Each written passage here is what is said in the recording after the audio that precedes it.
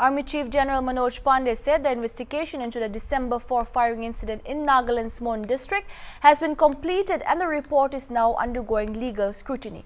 In an interaction with a group of journalists, he also suggested that standard operating procedures and drills could be refined based on the findings of the report. The botched counter-insurgency operation at Oting village in Mon district of Nagaland claimed the lives of 14 civilians and it triggered a massive public outcry in the state. The army had ordered a high-level inquiry into the incident. The probe team was headed by a major general. The investigation into the Mon incident has been completed. The report has been submitted and presently the legal scrutiny of the report is taking place, General Pandey said.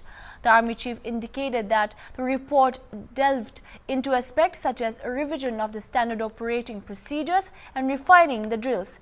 General Pandey suggested that a process of addressing shortcomings would be based on the findings of the report.